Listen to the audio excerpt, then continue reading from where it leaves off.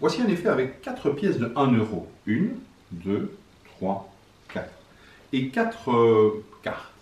Alors les cartes en fait vont juste servir à recouvrir chacune des pièces.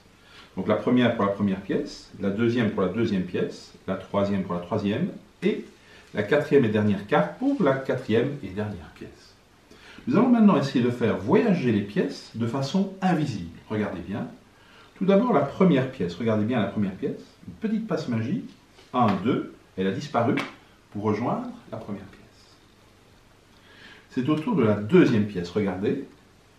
Petite passe magique. 1, 2. Elle a disparu pour rejoindre les deux autres. Il ne reste donc plus qu'une pièce à faire voyager. Regardez bien la dernière pièce, une petite passe magique comme ceci. Elle n'est plus ici, car elle a rejoint les trois autres.